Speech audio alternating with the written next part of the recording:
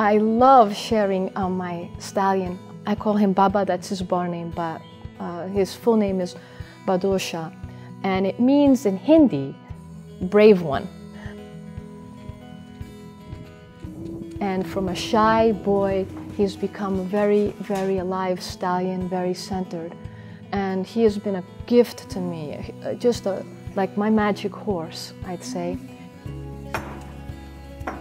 The Marwari is a very rare animal. It's probably the rarest horse in the world. There's about 20 horses outside of India. The Indian government right now has banned the export of them. The Marwari is known as the heart-shaped horse of India because their ears, when they form and, and they're forward, form a heart.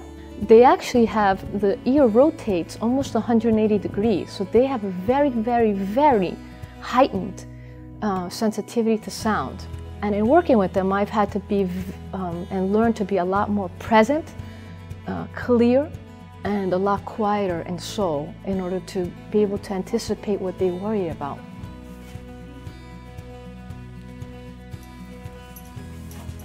My horse says so much.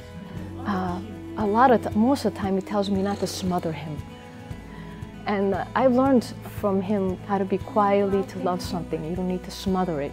You don't need to squash it. We can love something so much in some ways where we become a little controlling or we take possession of it. And in observing horses over the years in their natural environments outside, you start to see how they express love and what that means. And coming to them not so much with my own human needs,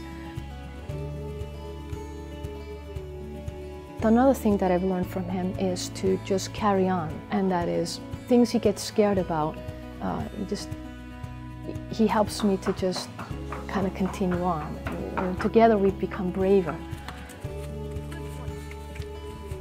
So he's pretty much my teacher, and I'm proud to be his custodian because I don't know if I could ever own him. I think he owns me.